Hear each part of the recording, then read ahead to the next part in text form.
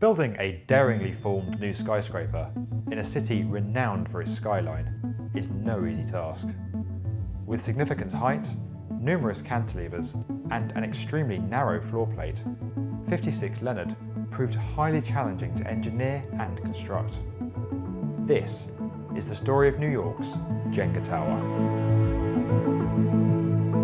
Located in Lower Manhattan, at the intersection of Church and Leonard Streets in Tribeca, the 60-storey skyscraper's unique form sets it apart from New York's many rectangular towers. Designed by Swiss architecture partners Herzog and de Meuron, it's comprised of a series of stacked blocks that are increasingly offset from one another as the tower rises, giving the building its Jenga-esque form. Built in a height-restricted historic district amongst many low-rise structures, 56 Leonard occupies a plot that was previously owned by the New York Law School and that is exempt from these height restrictions. Such privilege gives the luxury residential apartments in the tower spectacular unrestricted views across the city.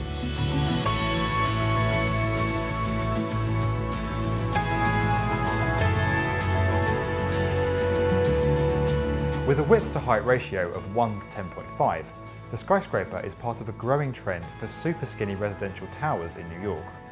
It joins the recently completed 432 Park Avenue, designed by Rafael Viñoly, while SHOP's 111 West 57th and Jean Nouvel's 53 West 53rd are both under construction. The 831 foot, 253 metre tall reinforced concrete tower contains just 145 apartments that range from 650 square foot studios to penthouse apartments of more than 6,000 square feet in size. 56 Leonard's internal space is divided into several zones. The lobby, townhouse residences, tower residences, and 10 spectacular penthouses near its summit.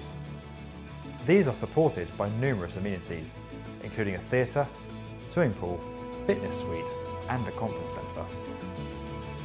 Floor-to-ceiling glass walls are sandwiched between concrete floor slabs, creating internal spaces that are a minimum of 11 feet high and almost 19 foot high in some penthouses. Being able to call such a unique location your home is not cheap. 56 Leonard's most expensive penthouse is being marketed at a cool 65 million US dollars.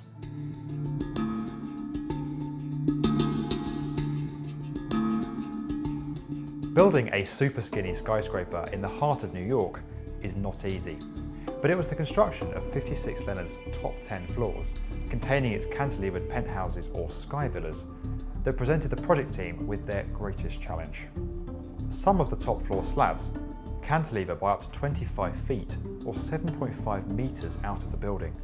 While for the smaller cantilevers, the thickness of the concrete floor slabs provides sufficient support, for those over 15 feet, additional beams had to be incorporated within each floor plate.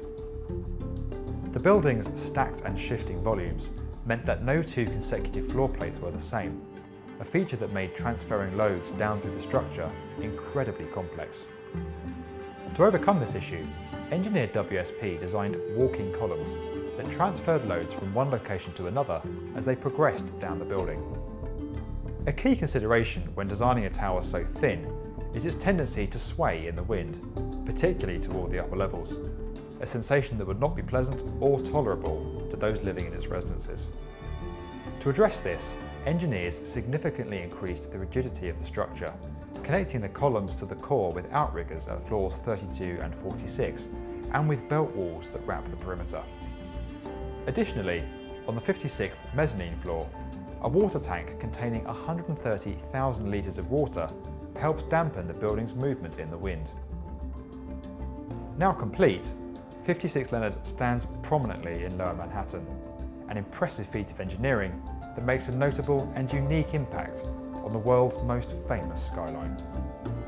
If you enjoyed this video and would like to get more from the definitive video channel for construction, subscribe to the B1M.